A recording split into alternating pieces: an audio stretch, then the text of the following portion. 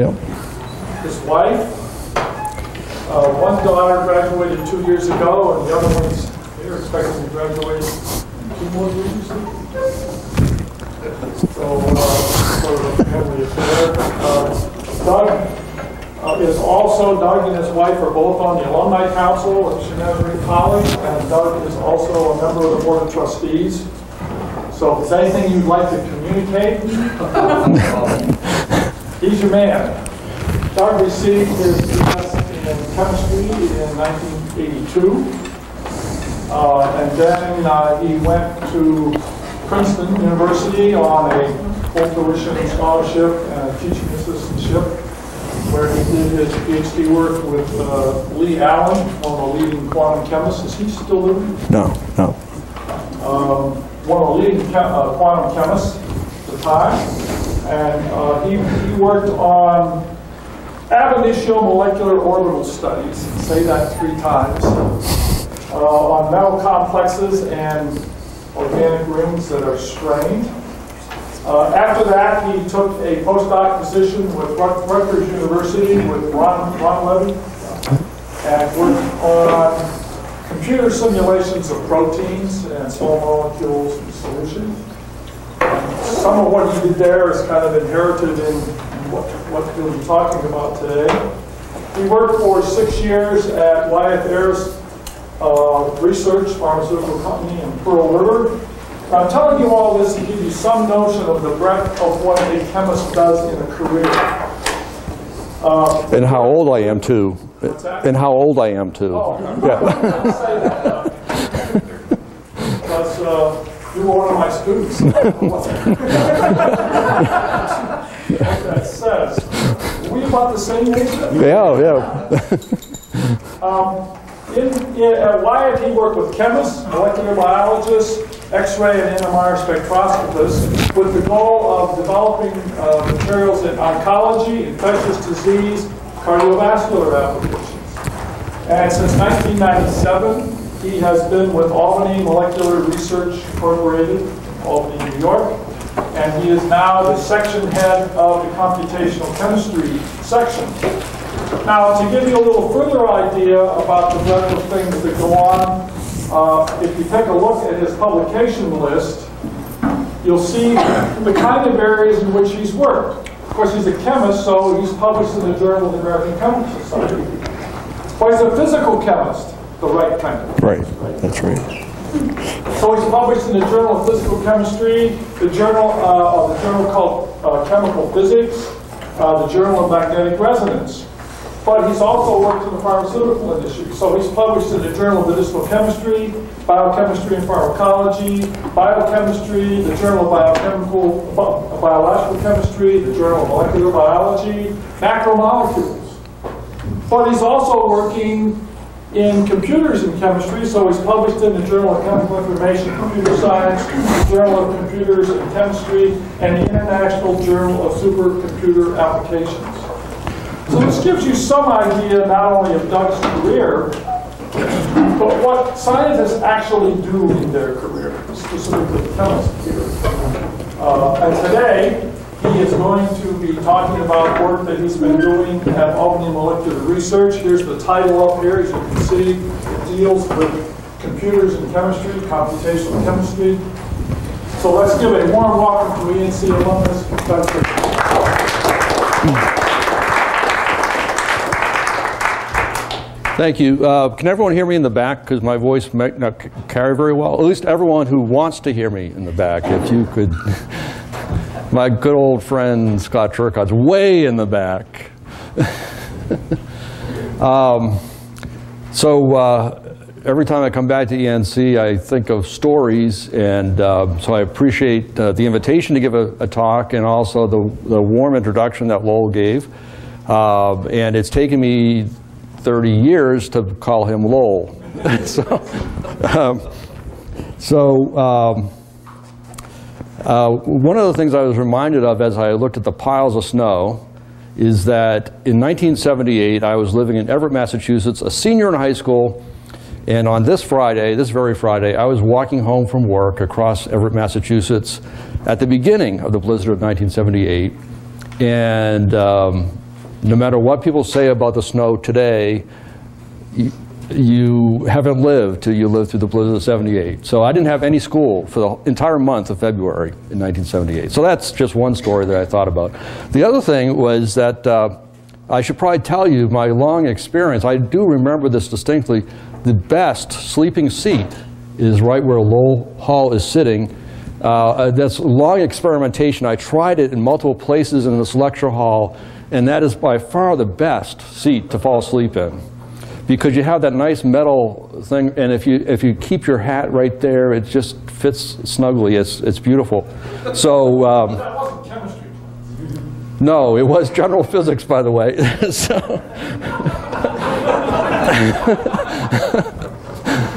my apologies. So, um, and um, that's probably enough for the stories. I have a lot more, most of which would be kind of cynical, but um, uh, and I and I won't I won't share them. And I have about 40 slides, and only maybe 45 minutes that I really want to present them in. And uh, if you want to ask questions during it, just uh, have, I'll just remind you that I tend to give very long answers to very short questions. So um, you might want to avoid asking a question. I don't know. And I really appreciate your being here today at uh, 4.30 on a Friday afternoon. And I'm going to go all the way to 5.30. Um, you are definitely loyal and wonderful people and you deserve a lot of extra credit for being here. And by 5:30, you'll probably deserve a lot more. So, um, so that's my title. We've been having struggles ah, with the technology. This, Farther down arrows. uh, yeah, maybe maybe it's this one. It's not on. Oh, it's not on. Well, that would. It takes an engineer. I guess. So, ah, there we go. Okay, so um, I've been working in drug discovery research for about 20 years now, 22 years actually. I began actually at the very end of 1991. Um, and I thought I was studying biopolymers and their interactions with water as, as a postdoc, and I thought that was scientifically significant. And, and then somehow that was preparing me to work in drug discovery. But I really took this, the job in drug, drug discovery because I needed a job. And uh, then I realized how little I really knew about almost anything. So um, I studied for, well, since about 1980, starting here at ENC, doing all sorts of calculations on the computer, starting on punch cards and you name it. Um, I've used almost every single computer system around, and uh, I thought I knew a lot. And then I got into drug discovery, and I realized I knew almost nothing. And I was just telling uh, uh, Sherry, Professor, Professor Bird, I'm sorry, that, that um, I never took any biology or biochemistry classes at ENC or at Princeton. And uh, I've learned almost all the biochemistry and biology by talking to biologists and biochemists. And so uh, whatever I have accumulated in knowledge is really due in large part to the probably 100 people I've worked with closely over the years and all sorts of other disciplines. And um, so no, no man is an island, and especially a computational chemist, uh, because all we do is stuff on the computer, and really that's not real life. Um, so, um, but we try to make it simulate real life. So anyway, now I'll really get into the talk, and I'll try to fly through some of this stuff. Um, so I work in drug discovery research. My company does contract research and manufacturing for a lot of pharmaceutical companies. And uh, cost is a huge factor these days in drug discovery and development. And recently it was just estimated that the average new drug costs uh, $3.4 billion to discover and develop and to get all the way through human clinical trials and to get onto the marketplace. And this is uh, a little, oh, sorry, I meant to do, ah, this, some of these uh, facts come from a Forbes article. Uh, but it was actually a study done at, at uh, Tufts. And uh, anyway, they're huge costs. Last year, uh, 31 new drugs were put on the market, or allowed on the market by the FDA. And um, a lot of these costs have to do more with the clinical trials than anything else. So once you try to put a new compound into a human being, you usually have to have 10,000 humans willing to take your untested drug, basically. So um, each one of those patients costs a couple of thousand dollars a piece, minimum. Sometimes five, ten thousand dollars. So that's where the billions come in. So our role in drug discovery is to make sure that whatever we want to put in the clinic is successful um, in the clinic. Because right now, only about 10% of our tries in the clinical trials are actually successful. So a lot of that several billion dollar cost per drug is because of failure, not because of success. So we try to en engineer the process uh, a little bit better. And um, so that's the, uh, uh, the economics of drug discovery. Um, I wanted to discuss first uh, what I consider a fundamental principle. I've, a lot of people don't talk about it this way, but even in the drug discovery research, people still talk about things like magic bullets, as if there's some sort of magic going on in drugs. But in fact, diseases are caused, uh, diseases that can be treated by pharmaceuticals are caused by malfunctioning proteins. And some proteins are overactive, sometimes they're inactive. But when we give somebody a pharmaceutical, it's not a magic bullet. It's actually fixing the problem in a reproducible, scientific way. It's interacting with molecular recognition events in the, in the human body, and all the drug actions are determined by reproducible physical, biophysical properties. Um, so there is no magic. There's no miracle drugs. They work for a reason.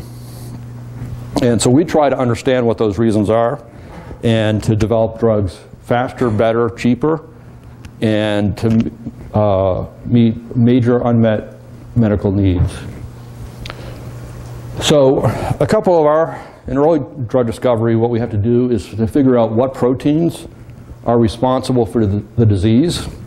Um, and that's not easy because there are 50,000 or so proteins in the human genome. Actually, I think it's more like 30 to 40,000 now. Um, and, uh, but if you throw in there bacterial and viral genomes, you're well over 50,000 proteins that you could choose to attack. And uh, the other thing is we're chemists, we make molecules, and there's essentially an infinite number of small molecule drugs that could be made. And so we have to make sure we test the right ones. And there's very few compounds, of all the imaginable compounds, that have all the right physical and biological characteristics to make a drug.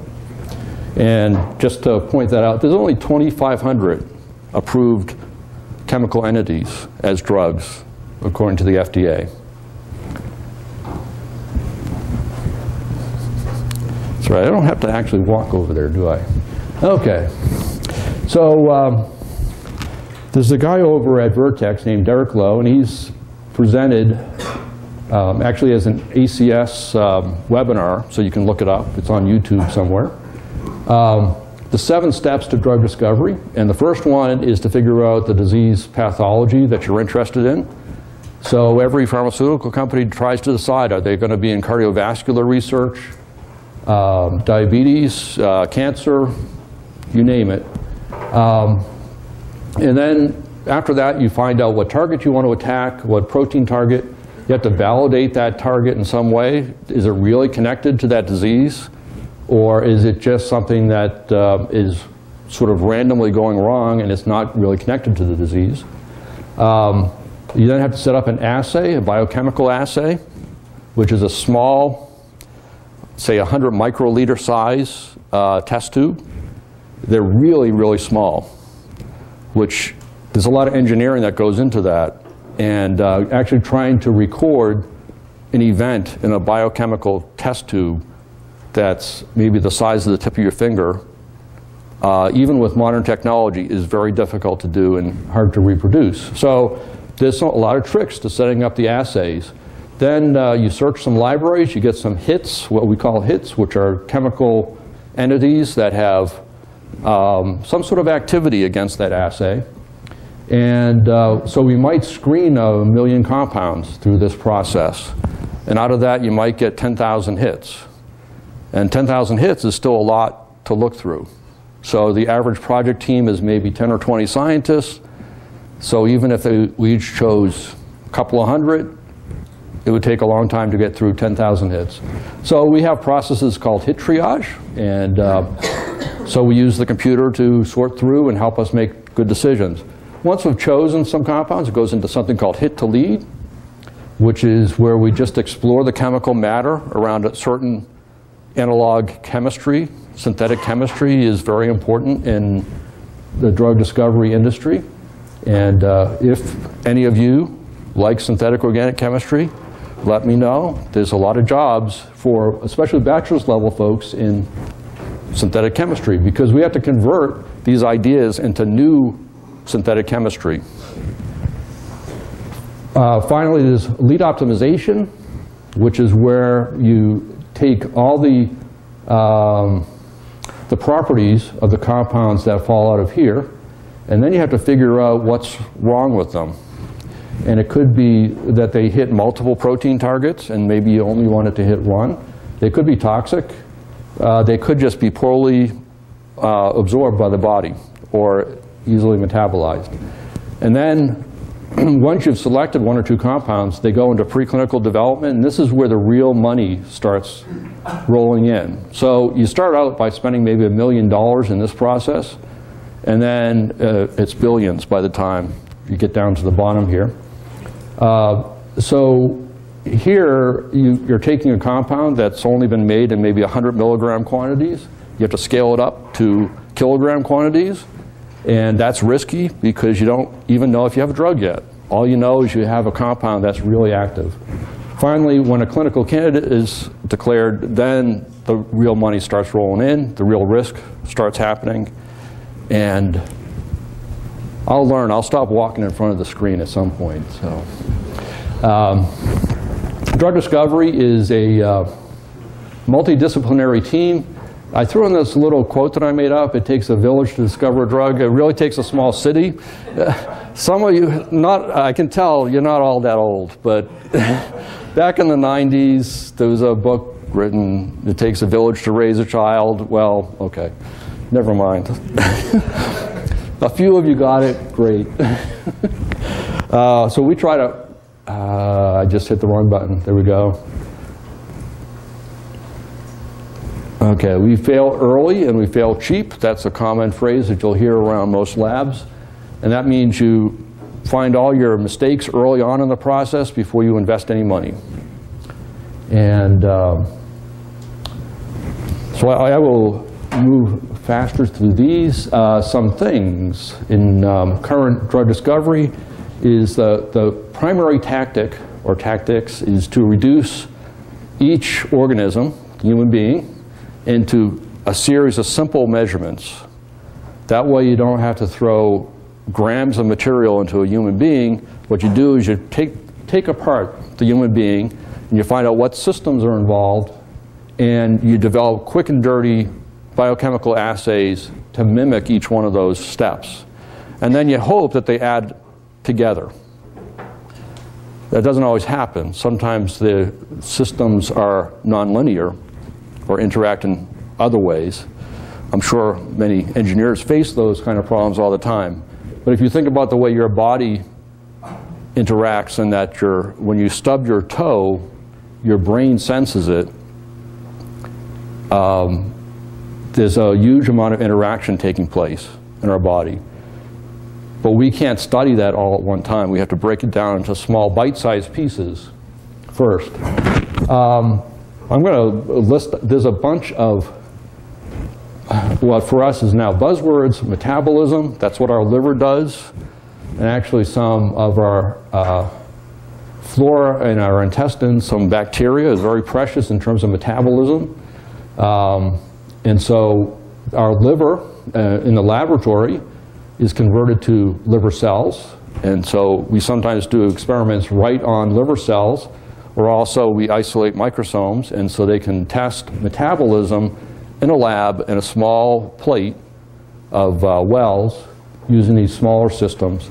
Absorption, which is the, the ability of a compound to go from the stomach in the gut and into the plasma, uh, is measured by a couple of other cell techniques, and it goes on and on. So I think I'll keep moving here. Um, what that ends up being is um, a series, a panel of assays through which the compound comes in this direction. We do a series of in vitro assays, then maybe some cell assays, and finally we put it into some small mammals. And so it's a series of, of gates, and every compound has to pass through all the gates. And then on top of this, there's other drug-like characteristics that we monitor. And so there's more gates thrown on top of this. This just, just happens to be one simple um, slide. Normally when people present this, it takes two or three different PowerPoint slides to present all the different variations for a given program. Uh, let's see. So, um, uh, this slide was a conceptual slide that I was coming up with in my mind for many, many months or years even. And then uh, Lowell in his um, uh, chapel talk last homecoming actually presented some of it, but not in this format. So, um, so I just thought dimensions of drug discovery sounds kind of cool. So out at this end, we're human beings. Uh, I'm about two meters tall.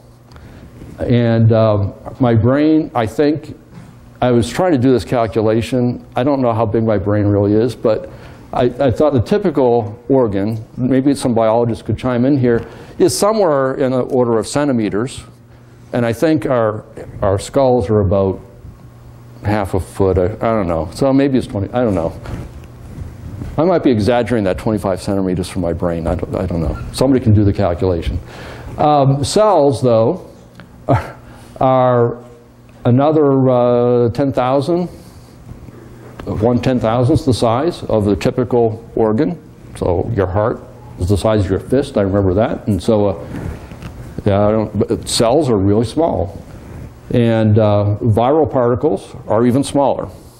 So um, somewhere in here, and then, and then, you have DNA and proteins, which are typically um, uh, 10 to the minus 8 versus the size of the full organism that's involved. And uh, small molecule drug discovery, we're dealing down here with nanometers in comparison. And uh, as I've often said, you, most of you have probably heard of nanoscience. In Albany, New York, there's a beautiful nano um, school of nanoscience actually now. I'd highly recommend it. Um, but actually, drug discovery is at the nano-nano level. So those of you who watched Mork and Mindy would get that. But those who didn't, uh, I have to explain it, I guess. I don't know. um, just to go further with that, small molecules control things that are far bigger than what they actually control an entire organism. So these are three neurotransmitters, and you can see chemically they're very similar. And uh, they're all about 10 to the minus 9 in size, meters in size.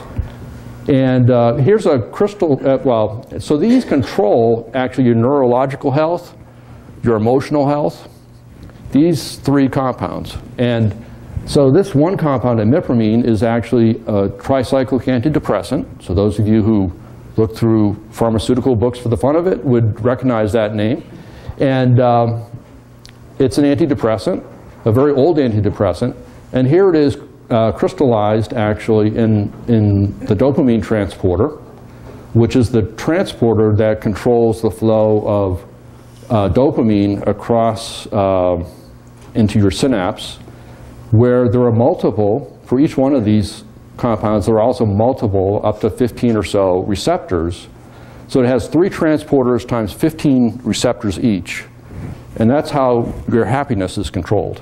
You think it's other things, but really it's the flow of these compounds in your brain.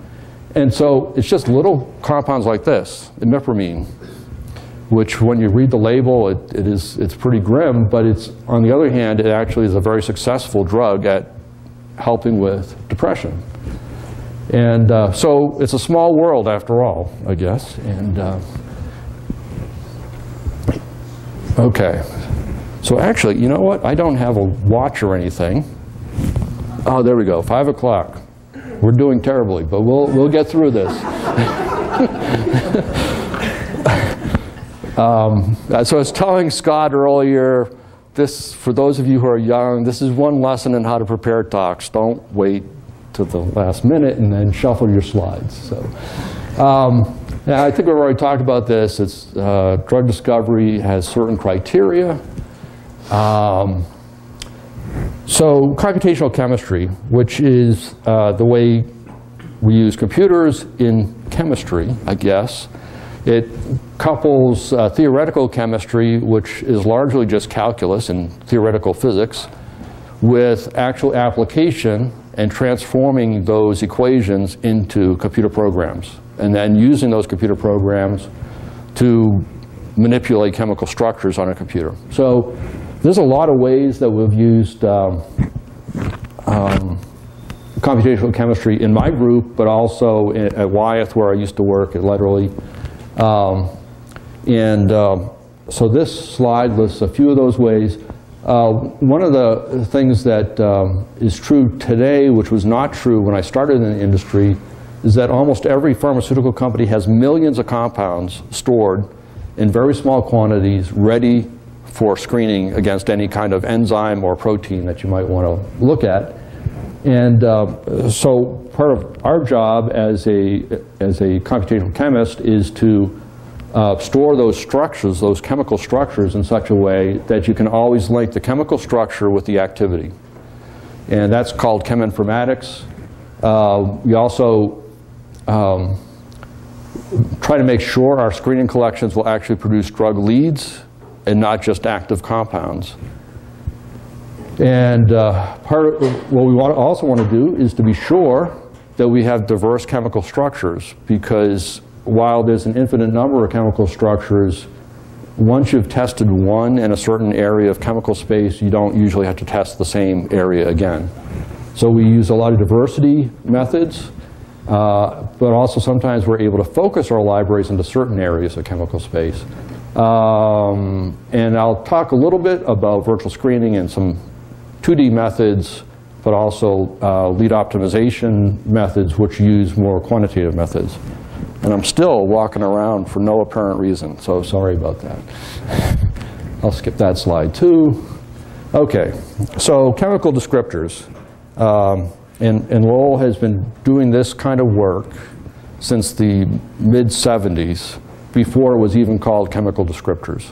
So um, topological indices are a form of a chemical descriptor, and it's a way to um, transform the pictorial representation, which at least chemists are used to, I've already shown you a couple of typical 2D structures, into an array of numbers or bits on a computer.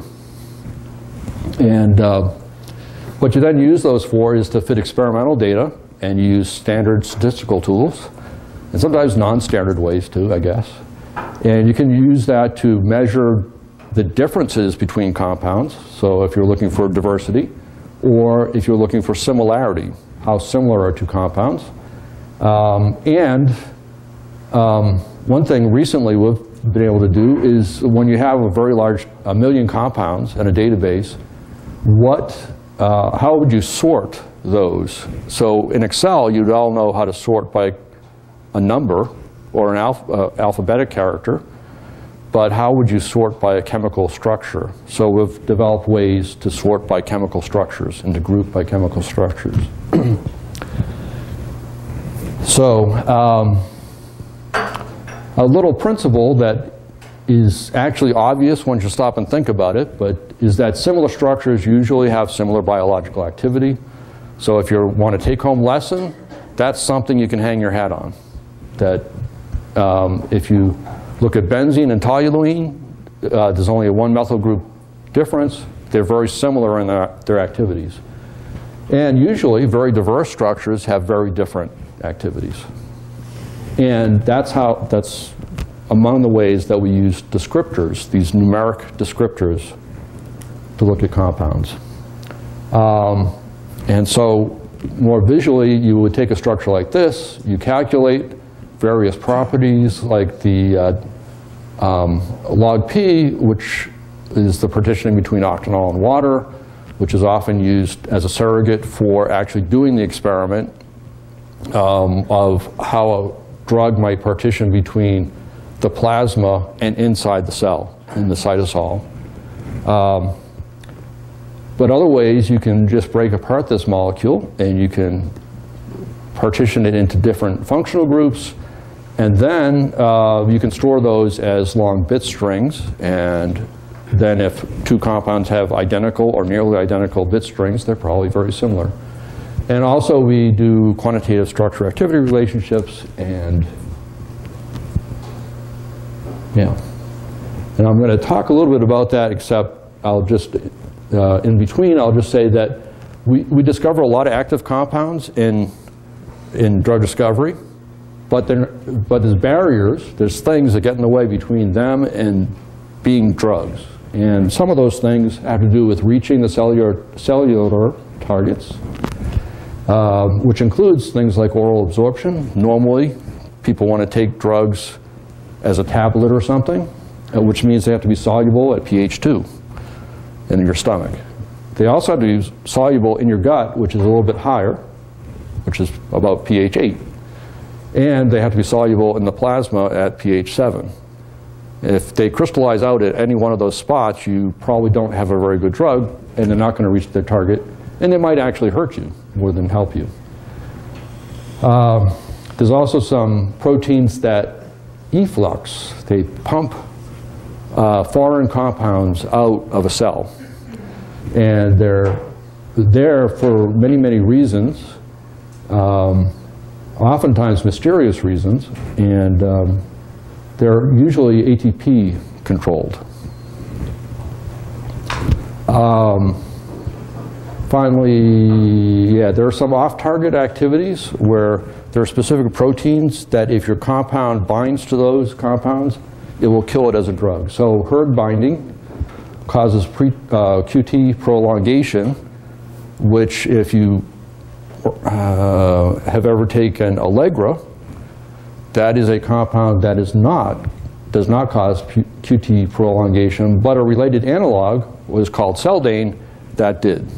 So it's a very, it's a very dangerous thing when it happens because you basically die. So, and that's just an allergy medication. So no one really wants you to die just because you have allergies. So we have to avoid these kind of things. And um, I'll just skip along here. Okay, so we do, so QSAR is, uh, involves doing, um, taking an experimental measurement and finding the chemical descriptors that match it. Uh, I'm gonna, just going to quickly go through this blood-brain barrier example, which is the ability of a drug to partition between the blood and the brain. So if you have a, a compound that's supposed to affect your CNS, like an antidepressant, normally you need to get that into the brain. And our brain is amazingly uh, put together and it actually keeps a lot of stuff out. Um, just like your, your, your body preserves oxygen in the brain first, it also tries to keep every foreign chemical out of the brain. So there's lots of defenses to getting our drugs into the brain, even though we're trying to help the person. This uh, natural response is to keep it out. So um, this is a, a, paper we published uh, probably almost 10 years ago now. And it was a couple of simple models that described um, the log of the blood-brain barrier partitioning to two uh, different descriptors in this case, and then multiple descriptors in this case, uh, and as in deference to some, one of the members in the audience, one of those, well, two of those descriptors, three, those descriptors are electrotopological indices invented or first described or implemented by Lowell Hall. And uh, so they're very useful in figuring out, in this case, whether a, a drug might get into the brain or not. And in the case, for example, of allergy medications, their drowsiness, like Benadryl, typically causes drowsiness. It's because it gets into the brain. So compounds like Allegra, um, or fexofenadine as it's also called, um, doesn't get into the brain. So it doesn't make you drowsy. So- well, so Albany Molecular Research uh, owns the patent, which is fast expiring this year or next. So, um, yeah. So, yeah, well, I use that example a lot because it's really helped our company a lot. I'm a loyal person, so. Um, Okay. Uh, one of the other things we can do with descriptors is set up quick and dirty filters, uh, just so that it turns out almost Lipinski's rules is a really simple um, way to define. It's called the rule of five because all these quantities are five. So compounds that have higher than 500 molecular weight, their log P is greater than five, they have too many hydrogen bond acceptors or the too many heteroatoms, they tend not to be good drugs. So this is a really simple filter. And again, um, yeah, we'll keep moving. Um, really, my aim was to talk more about this part of the talk. So uh, anyway, sorry about that. Uh, Structure-guided design is what I'm now calling this, but originally, if you look in the literature, maybe Chemical and Engineering News, you'll see the terminology structure-based design.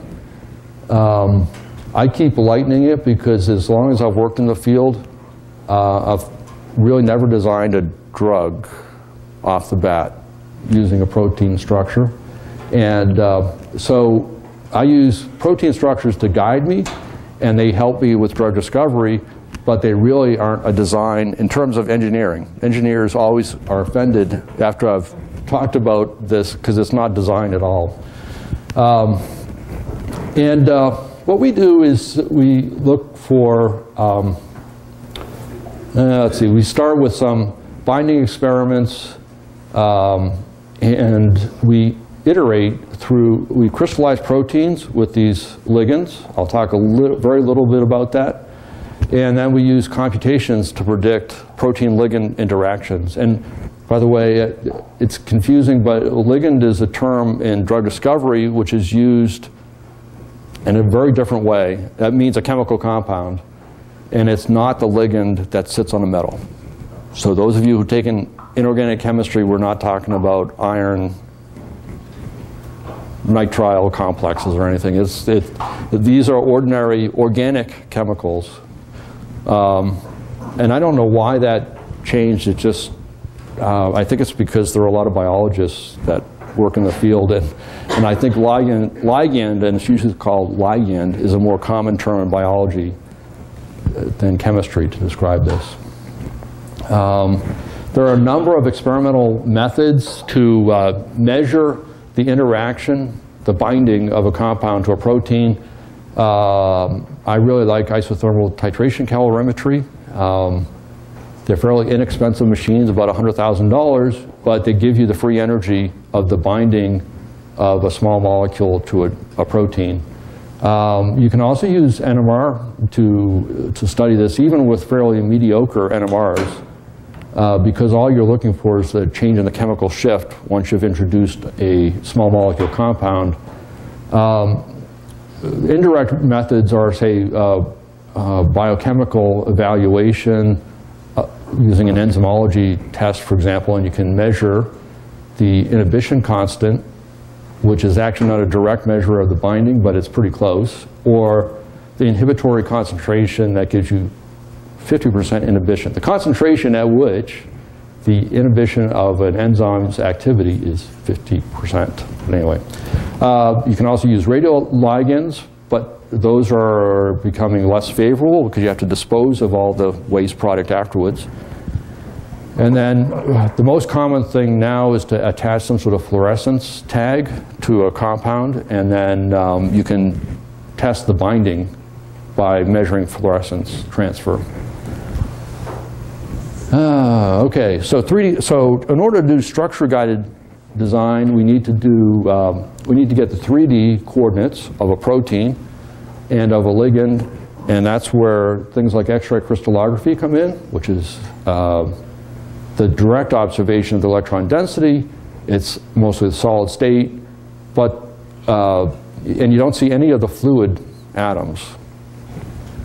Uh, protein NMR is nice because it's the solution structure. The problem is you have to tend you tend to have to do it at very high or very low pH. I'm sorry, and you get indirect measurements of the structure. So then you have to fit that back to um, an actual Cartesian coordinate system. And something that we use a lot is homology modeling, which is actually purely a computational technique. So when you have the 3D structure of an already crystallized protein, and uh, it's 20% identical or more to your, your target protein, you can build a model from that. And it's important to remember both of these experimental methods are models of experimental data. And so then homology modeling then becomes model, a model of a model, or a model from a model. So um, that's very useful. And then what we try to do on the, in computational chemistry is to calculate the association constants of proteins and ligands. And um, it would be wonderful if we could do that. That would make drug discovery so much more efficient in the early stages.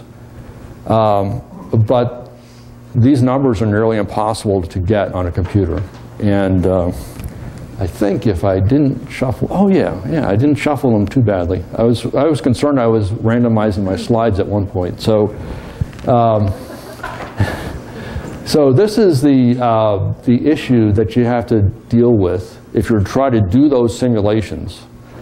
Um, you need to do your ligand, your small molecule, in a huge box of water molecules. And you can see that here. And then this is a little up close. And then you have to do the protein um, and ligand uh, sort of co-crystallized here. So here you have the complex and you also have to coat it with water.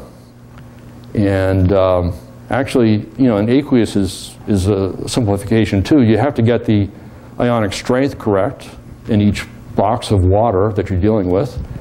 And so there are tens of thousands of, tens of thousands of atoms, and you have to get the potential energy of each of those atoms correctly, and of all, all the interactions. And um, you have to get lots and lots of uh, geometries to get the statistical thermodynamics correct.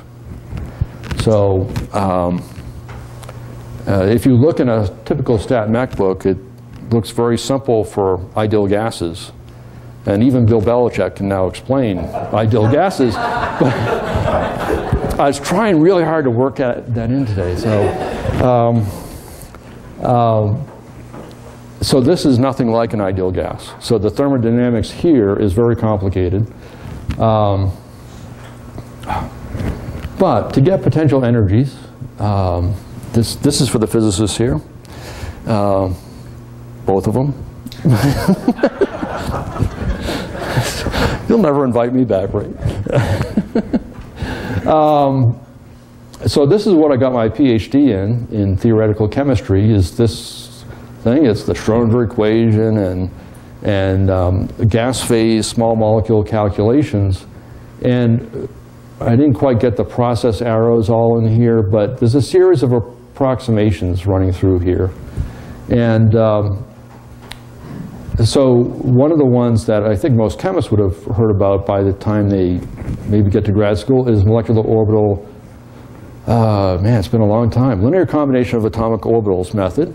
And um, uh, MO, you, uh, I asked this bonus question. It's really not a question, but a challenge to name all the Nobel Prize winners on this that are represented on this slide. And uh, Schrodinger, of course, is one. And I checked with John Free, Born and Oppenheimer both got a Nobel Prize. This one is um, uh, molecular orbital, but people often call it Mulliken orbitals. So Mulliken got a Nobel Prize. Um, density functional theory, that Nobel Prize was just given in the last few years to a couple of folks. You can look that up. And um, um, also, the standard methods that I learned in grad school was uh, something called Gaussian, because we use Gaussian um, orbitals on our, all our calculations. And that person, the author of Gaussian, got a Nobel Prize recently. So all those, I put a, a few numbers here, it's really super expensive.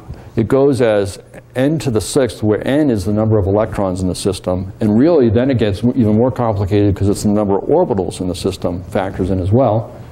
So these are essentially, if you took that box of water, is impossible to solve at, at these um, wonderfully accurate methods.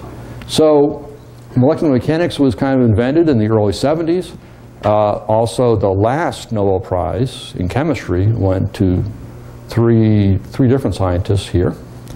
Um, and uh, molecular mechanics is a really a fundamental part of our work in computational chemistry in drug discovery because it allows us to do free energy calculations on systems of the dimensions on the previous slide. So tens of thousands of atoms in millions of geometries. And uh, it still actually scales pretty badly. It's still about the square of the number of atoms.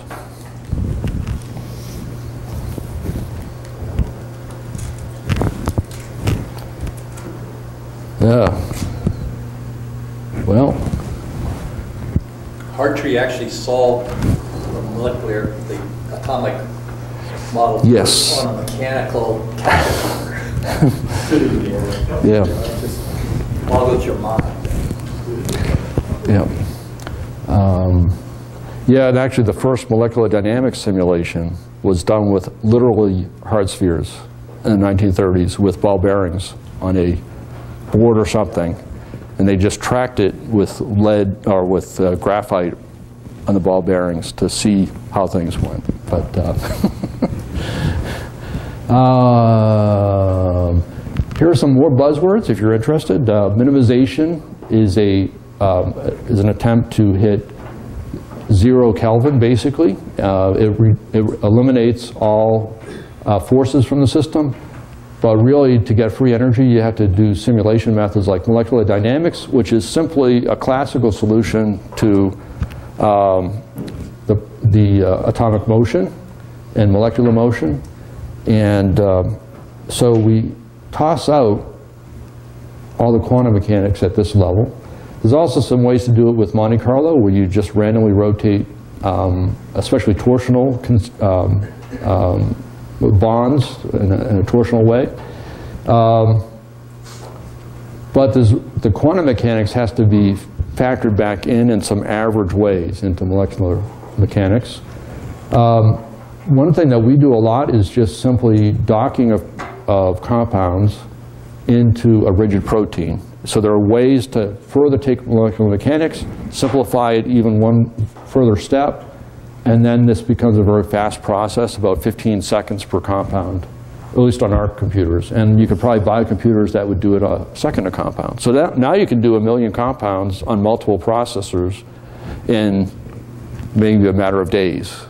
So you can do a virtual screen, what we call a virtual screen, instead of doing biochemical screens, with some limitations on accuracy, which I won't get into, but there, there are plenty of limitations there.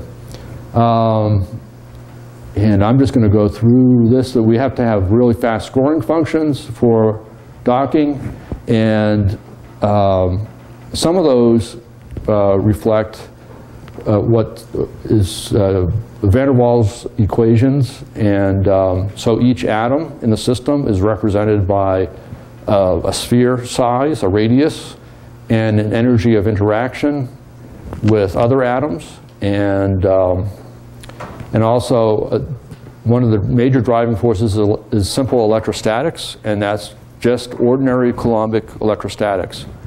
So what we have to do to get these things to work is to guess what the partial charges should be on an atom but partial charges are not quantum mechanical observables, so therefore they don't actually exist. So we parameterize those things, and um, and amongst the uh, um, other things, I'm, I'm sorry, John, I should have made that bigger, right? I could I could see him staring at that equation. Did he get it right?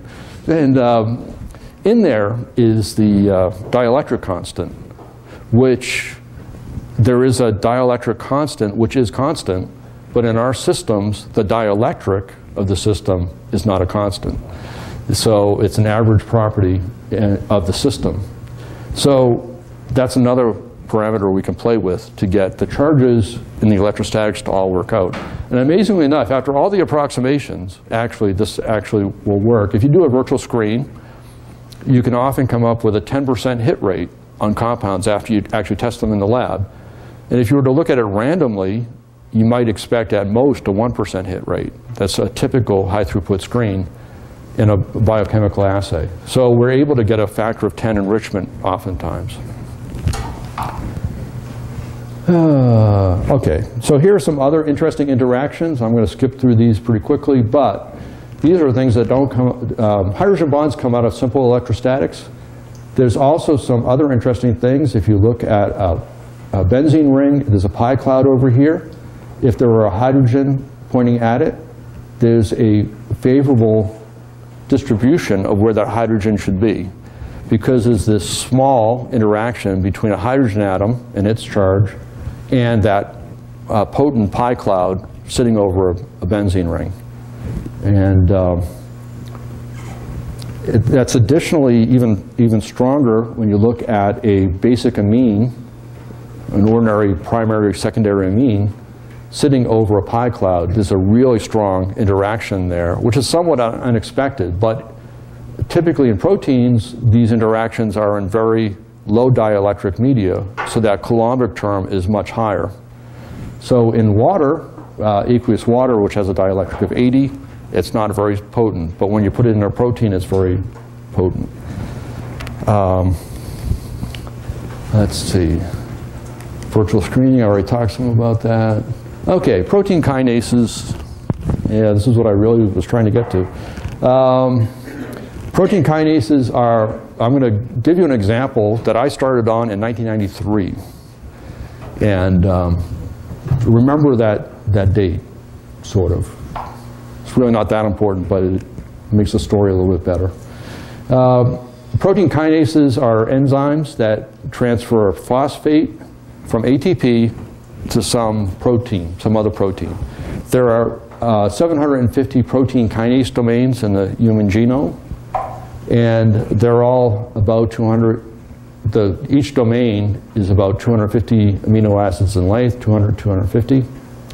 And uh, protein kinase domains are also found in receptors. So there's other parts of the protein. It just happens that the important signaling happens at the protein kinase domain. And uh, so th these 750 protein kinases were arranged in what somebody called a kinome. So you've all heard of the genome. If you fish around in the drug discovery literature today, you'll hear about the biome, the genome, the proteome, the interactome. Well, this is the kinome. This is the kinases and how they're related. So this plot shows the, the um, amino acid similarity in a dendrogram. And so there's families of protein kinases all over the place. And the, these, this group is all closer to each other in sequence than it is to this group over here. Um, because kinases are so important in signaling in our cells, they're um,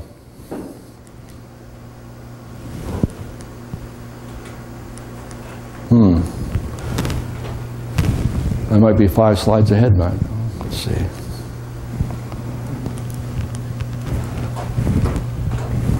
Well, I will. Uh,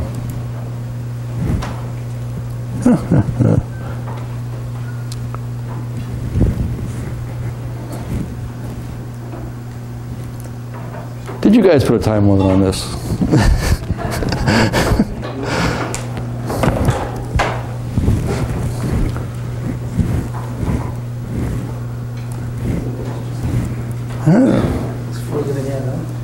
Frozen again.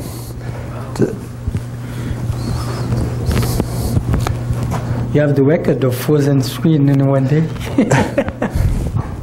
so if if you say enter here, what does it do? Wow. Wow, What if we get out of it and put it back on again? So can we can we hit? No, no, this is even this is frozen. Escape doesn't work. Alt. Oh. Oh. Well, that's not good. Talk about the blue screen of death. Boy, I haven't seen that in a long time. We're having a, a dumping physical memory to disk right now. um, I guess I'll go with a cho- chalk talk from now.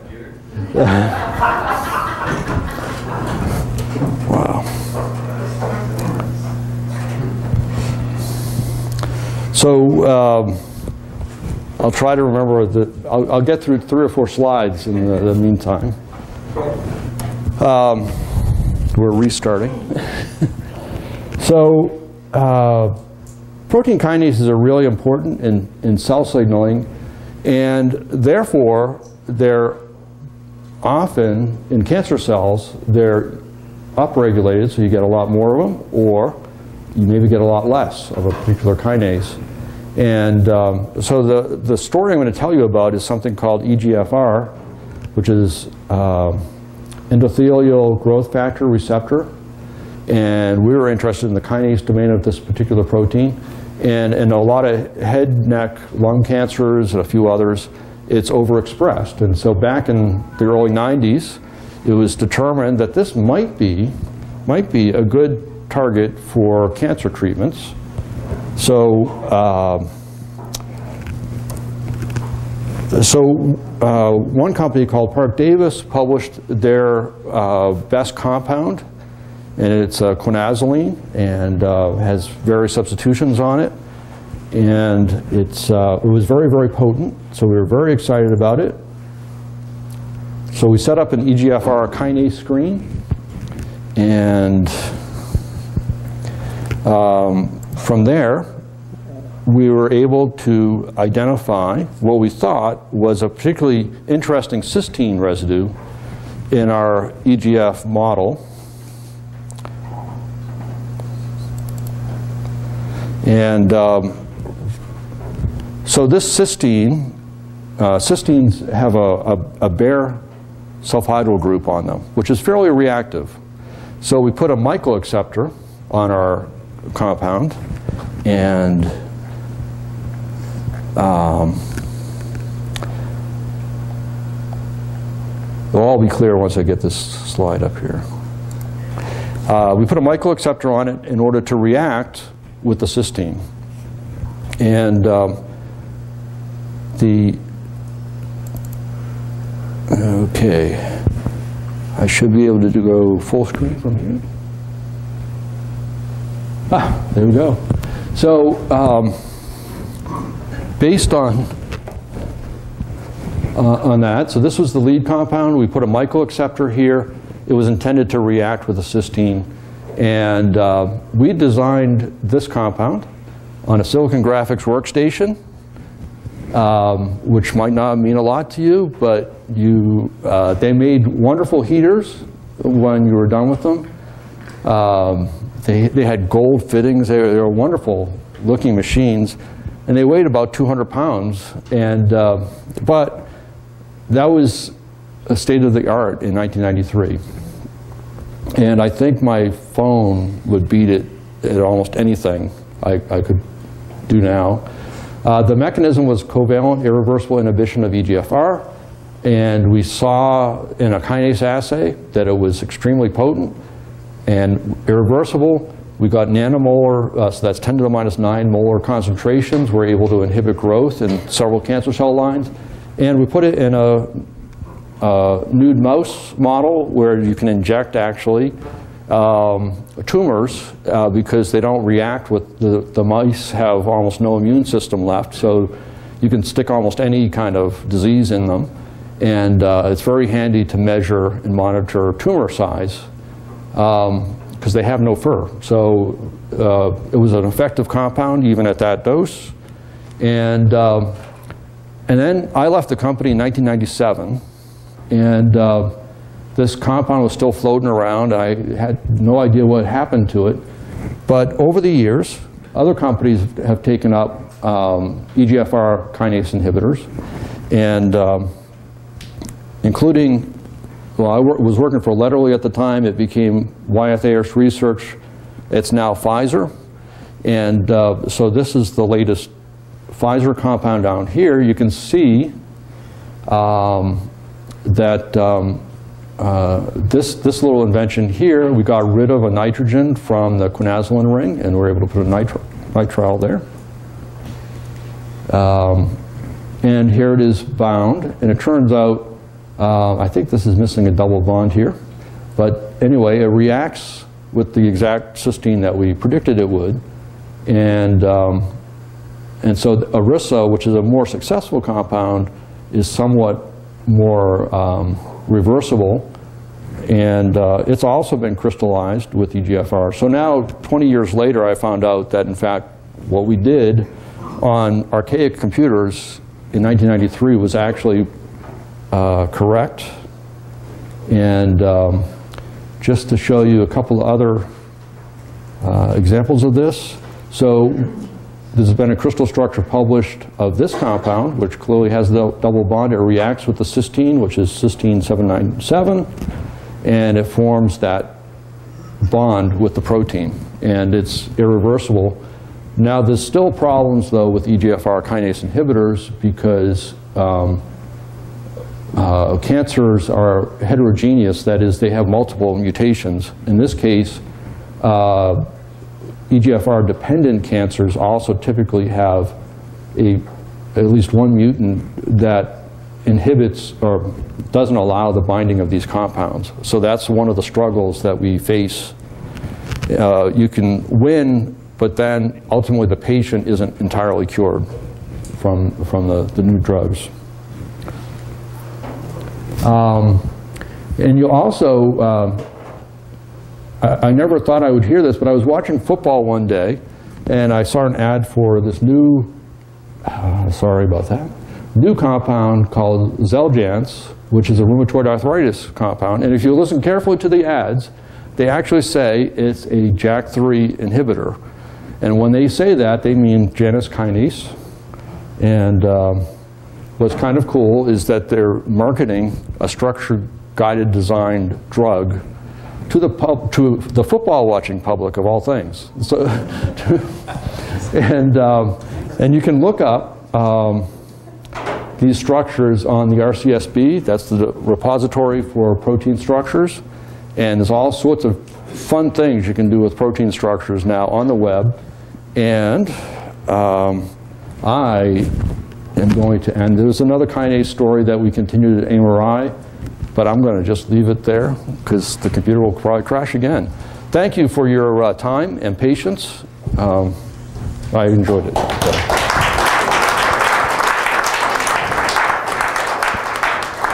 Anybody have a quick question to which give a quick answer? Anybody have a question? you'd like to ask?